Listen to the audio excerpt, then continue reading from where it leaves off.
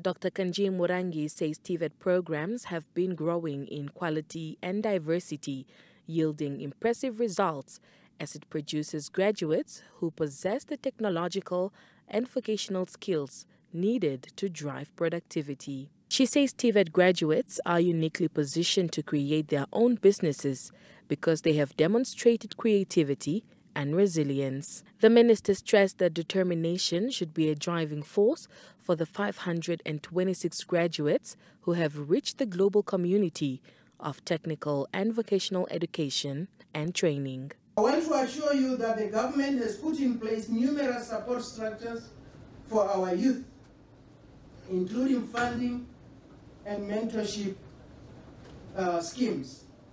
We are also improving market we also we are also improving market access for youth businesses through public procurement preferences and international trade agreements, which will have positive impacts on employment and economic growth.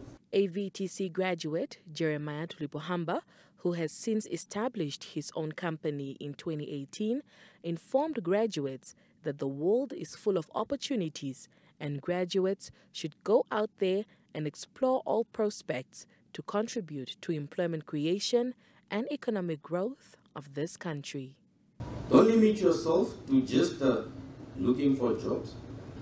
Think about how you can use your skills to create jobs, innovate, contribute to your community, Namibia Training Authority Board Chairperson Jerome Mutumba, in a speech delivered on his behalf, says TVET holds the key to technological progress, rapid industrialization, wealth creation, and poverty eradication. By unlocking TVET's power as a tool for supporting economic growth and development, both at an individual and community level, we can convert our country's rising unemployment challenge into an enabling demographic dividend in which young people of working age are developing their productive potential.